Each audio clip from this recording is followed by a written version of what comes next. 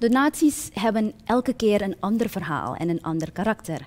VSH United en Hatramei hebben als waardering voor de jarenlange steun aan hun organisatie de wens van de gewezen president-commissaris van de RVC bij VSH, Roy Godadin, in vervulling doen komen.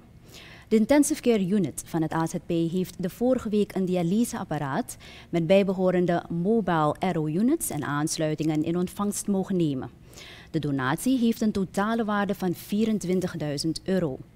Het is de afgelopen tijd niet makkelijk geweest een patiënt op de intensive care unit te dialyseren zonder een dialysemachine, zei de algemeen directeur van het AZP, Claudia Marika Redan. Volgens haar zal deze geste de kwalitatieve zorg op de ICU bieden. Roy Coradin is 27 jaar lid geweest van de Raad van Commissarissen bij de VSH United en de laatste acht jaar als president-commissaris. Tijdens een aandeelhoudersvergadering is bekendgemaakt dat hij zou aftreden vanwege gezondheidsredenen.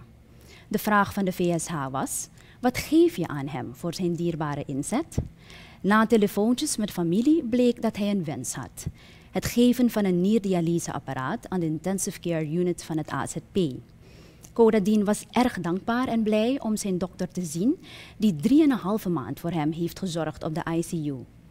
Ik heb gezien hoe het AZP bij deze, de ICU, met kunst en vliegwerk en met passie bezig is met de patiënten.